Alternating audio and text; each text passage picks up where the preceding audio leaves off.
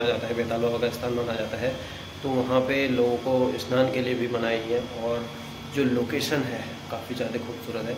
और चलो चलते हैं, पहले दिखाते हैं कि किस तरीके से हमने पूजा पाठ की।